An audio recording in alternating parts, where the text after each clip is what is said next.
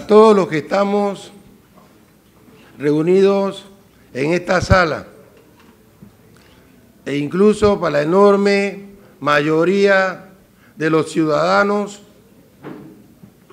no constituye un hecho desconocido la profunda crisis por la que transita la Administración de Justicia. Desde hace varios lustros, la nación panameña tiene una administración de justicia excesivamente politizada, al servicio de los sectores plutocráticos del poder político y del poder económico. Y la raíz de esta excesiva politización radica en la manera en que se seleccionan a los magistrados, tal como está en la Constitución Política de la República. Los magistrados son escogidos por el órgano ejecutivo de a por el presidente de la República. Y el poder político escoge y selecciona en base al amiguismo y en base a elegir a juristas genuflexos al servicio de sus intereses. Uno de los ejemplos más recientes es la forma en que se seleccionó al hoy cuestionado y que se encuentra en la picota pública al magistrado Alejandro Moncada Carvajal.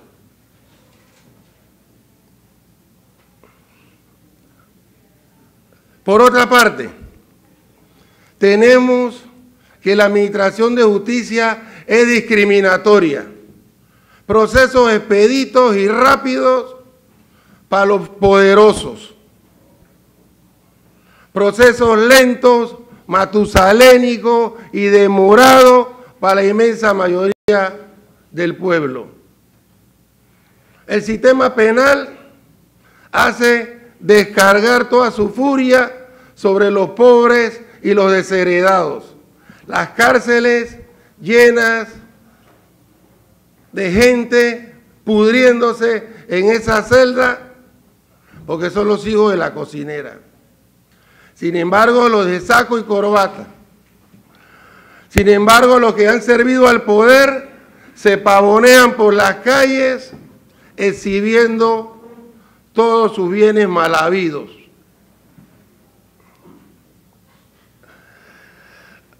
La magistrada Graciela Dixon, cuando tomó posesión del cargo de presidenta de la Corte Suprema de Justicia, señaló que la Administración de Justicia era un verdadero mercado persa donde se vendían y compraban sentencias.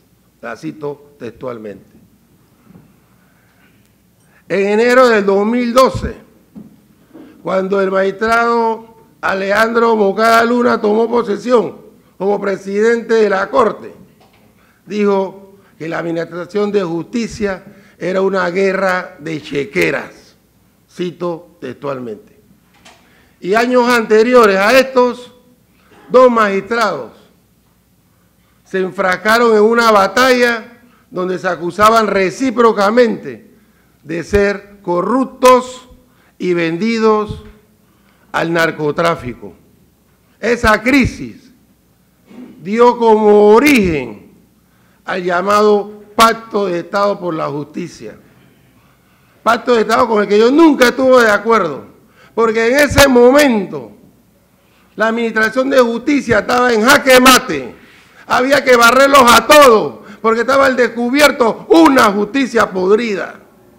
Y el pacto de Estado por la justicia vino a ser un salvavidas que le lanzaron algunos sectores del status quo y el establishment para mantener a flote a lo que ya era un verdadero Titanic hundiéndose.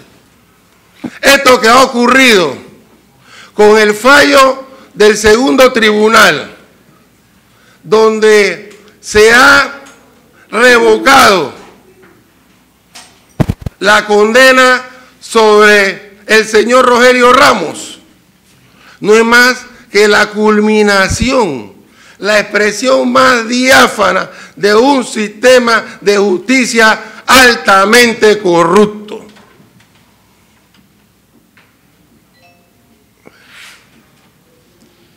Cuando esa sentencia llegó a mis manos por conducto de dirigentes del Suntra, no pude esconder mi profunda indignación como jurista y de manera particular como abogado penalista. Esa sentencia se lleva de calle, la proferida por la Sala Penal de la Corte Suprema de Justicia, toda una serie de principios que informan al sistema penal y que informan a la Administración de Justicia. En primer lugar, lo que pone de manifiesto esa sentencia es que allí se vulneró el artículo 32 de la Constitución Política que establece el principio del debido proceso.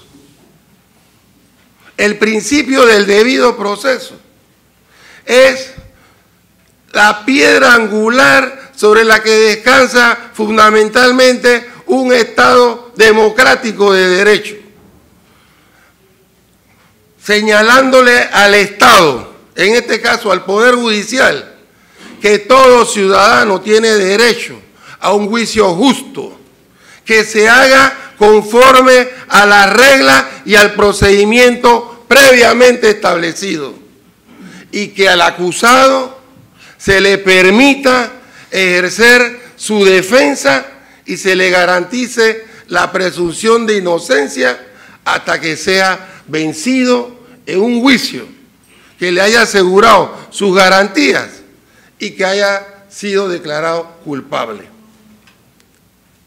Todos esos principios del debido proceso fueron preservados en el proceso penal que culminó con un fallo condenatorio por el jurado de conciencia para el acusado Rogelio Ramos. Yo revisé esa sentencia, revisamos ese proceso. Ahí se le aseguró el debido proceso y termina, se desata la instancia con un fallo, con un veredicto soberano del jurado de conciencia. El jurado de conciencia es una institución establecida en la República de Panamá desde la constitución de 1904. Y el jurado de conciencia tiene la soberanía de decidir acerca de la culpabilidad o de la inocencia de una persona. No se conoce en la historia judicial panameña ninguna decisión de la Corte o de las salas de la Corte que haya anulado un fallo del jurado de conciencia.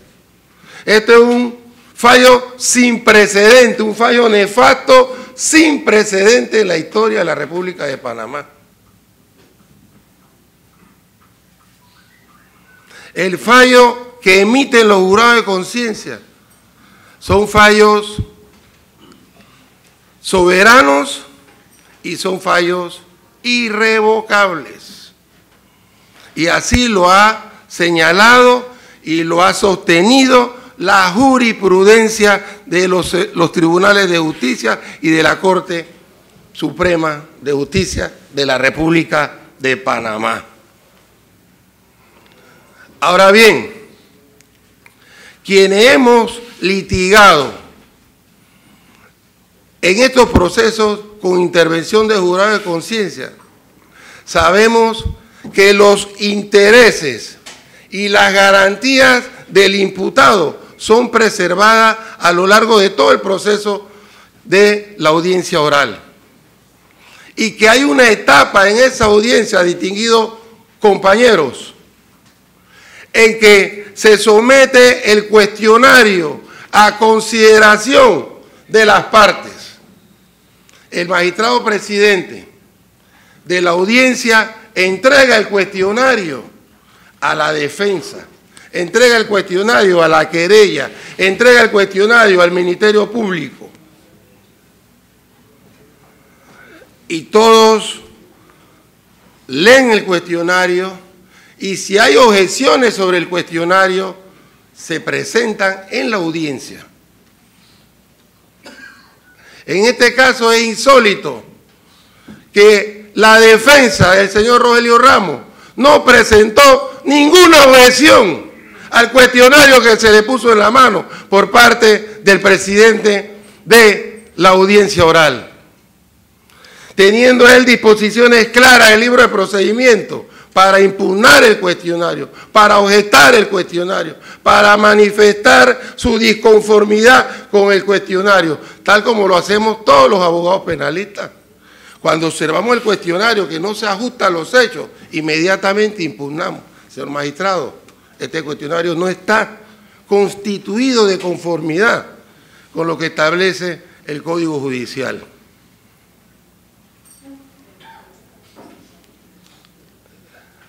En el caso de los acusados de la muerte y decapitación de Hugo Espadafora, se produjo un error en el cuestionario que no advirtieron ni la fiscalía ni quienes acusaban a los presuntos homicidas. Y no por eso salieron a todos responsables, vinculados con la muerte y decapitación del doctor Hugo Espadafora. Ustedes recordarán aquel juicio histórico. Y la Corte no revocó, no revocó la decisión del jurado de conciencia. Y ahí salieron a personas contra las que militaban pruebas y evidencias contundentes de responsabilidad penal. Porque se partió del hecho de que la decisión del jurado de conciencia es soberana. Y se partió del principio de que los acusados y el Ministerio Público tienen derecho a impugnar el cuestionario. Y si nadie ejerce ese derecho, en materia legal eso se llama precluyó el término, canceló tu oportunidad para impugnar el cuestionario. No puede venir ahora como lo hace el fallo, cuestionado, a señalar que el cuestionario mediante el cual se declara culpable de tentativa de homicidio en perjuicio de los trabajadores del Suntra a Rogelio Ramos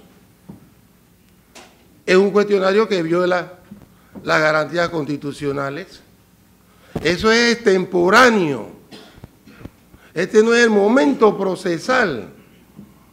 Ya el momento procesal precluyó y solamente podía entrar el segundo, la sala segunda de la Corte Suprema de Justicia. Era a revisar el quantum de la pena, la dosificación de la pena, los 20 años de prisión que se le impuso al señor Rogelio Ramos. Ese era el contexto dentro del cual tenía que darse el debate. Máxime si ya la Corte Suprema de Justicia había en un habeas corpus señalado del 4 de junio del 2010, dos meses después del veredicto, de que el señor Rogelio Ramos había sido condenado conforme a la ley y que se le habían respetado todas sus garantías constitucionales. Entonces, si existía ese fallo, que en materia jurídica se llama cosa juzgada constitucional, porque aquí se llevaron de calle también el principio de cosa juzgada constitucional. En este fallo que estamos examinando de la sala segunda, firmado por los magistrados Carrasco, Benavides y Díaz, se han llevado todos esos principios constitucionales. Lo han desconocido, lo han ignorado. Y lo más grave, que supuestamente si hay irregularidades del magistrado en la confesión del, del cuestionario, ¿por qué razón no suspendieron al magistrado? ¿Por qué razón no anularon todo el proceso? Esto fue una operación quirúrgica hecha por jueces y magistrados corruptos para favorecer de manera concreta al que había resultado condenado por el jurado de conciencia. Yo me pregunto, ¿qué hace el magistrado Benavide de la sala tercera firmando un fallo de la sala segunda? Magistrado Benavide es magistrado de la sala tercera. La única manera que él pueda firmar ese fallo es que el principal y el suplente de la sala segunda no estaba.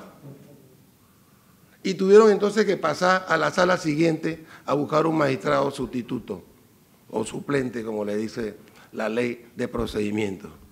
Y yo he puesto de manifiesto en muchas investigaciones y en muchos escritos, y entre esos uno que le voy a repartir ahora hasta donde alcance a ustedes, de que la Corte Suprema, cuando quiere hacer esas vagabunderías en los fallos, busca suplente.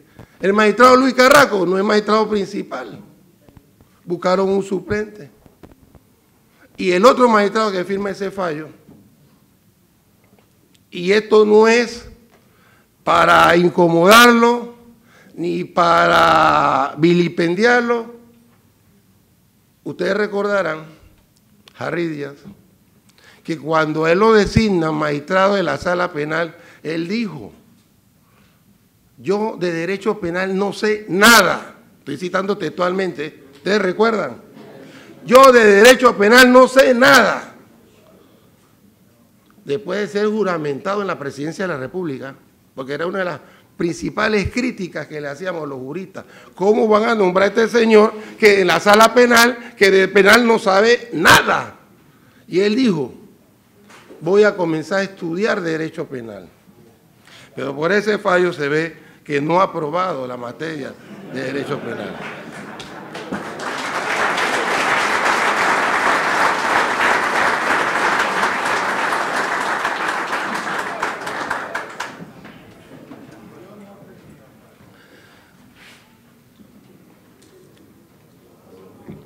No cabe la menor duda, distinguidos amigos, que este fallo que me he permitido analizar y que han analizado enjundiosamente los otros colegas ha sido dictado al margen de los principios del derecho procesal penal. Es un fallo que merece ser anulado.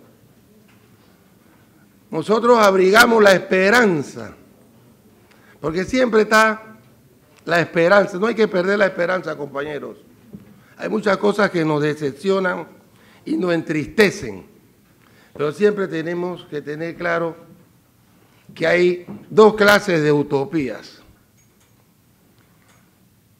La utopía de que las cosas siempre van a ser igual y que esto va a ser per secula seculorum. Y la utopía de los que creemos que las cosas van a cambiar algún día. Y yo soy utópico, pero soy utópico de la segunda utopía, de lo que creo que las cosas van a cambiar. Yo he visto cómo este pueblo poco a poco ha ido tomando conciencia sobre la necesidad de barrer con el sistema de justicia que tenemos. Panamá no merece este sistema de justicia. No podemos seguir cargando a esa Corte Suprema de Justicia. Todos los días debemos pedir la renuncia de esos magistrados, de todos, de todos esos magistrados.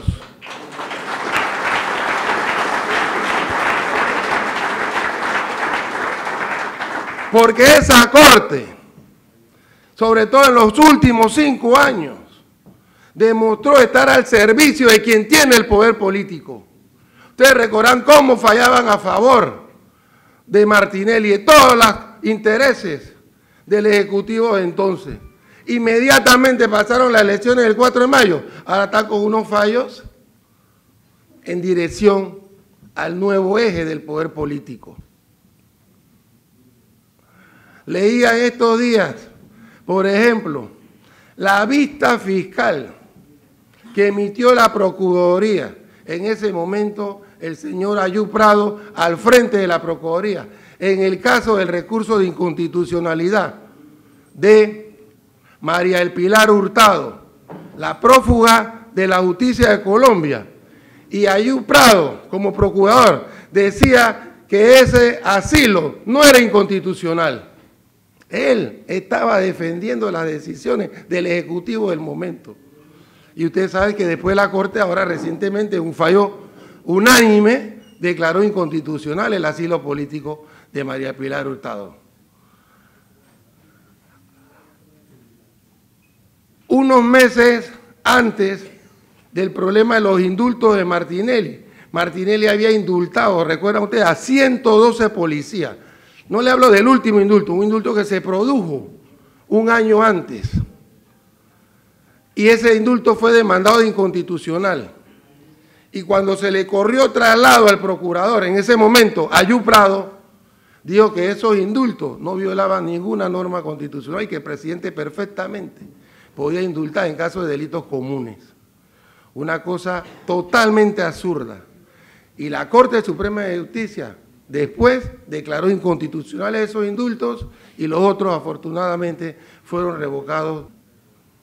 Entonces vemos que estos magistrados no tienen ni siquiera criterios jurídicos, que vinieran, ojalá fuera posible lo que señala aquí el distinguido colega Moncada, a un debate, que vinieran aquí al Colegio Nacional de Abogados, a que hagamos un debate sobre esa nefasta sentencia y le aseguro que no van a salir bien librados y no van a tener argumentos de cómo defender ese adefesio jurídico.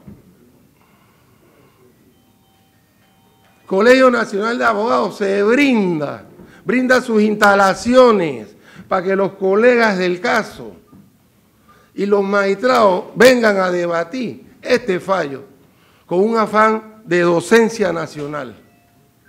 Y vamos a escuchar los argumentos. a título de discusión, a título de discusión, si la defensa del señor Rogelio Ramos quería impugnar ese fallo, porque considerábamos tú propio que se le había violado alguna garantía constitucional, no era el recurso de apelación el que ellos tenían que interponer, a título de discusión. Y quizás Saúl se va a poner dándole secreto aquí a la contraparte era un recurso de inconstitucionalidad, porque la sentencia del segundo tribunal admite, admiten recursos de inconstitucionalidad. Y quizás ese era el camino, a título de discusión. Entonces, distinguidos amigos, distinguidos compañeros, colegas, tenemos por delante una gran lucha. Este es apenas un árbol de un gran bosque, que es el de barrer con el sistema podrido de justicia que tenemos en estos momentos. Tenemos que redoblar la lucha en esa dirección. Tenemos que organizarnos para la gran Asamblea Nacional Constituyente, que es una de las promesas del Ejecutivo. El Colegio Nacional de Abogados, en los próximos meses, va a iniciar una gran cruzada nacional para movilizar a todo el país, a los sindicatos, a los sectores populares, empresariales, gremiales, por la Asamblea Constituyente, para un nuevo pacto nacional y entonces poder acabar con esta administración de justicia deficiente, discriminatoria y corrupta que tenemos. Entonces, la suerte está echada, vamos adelante y muchas gracias.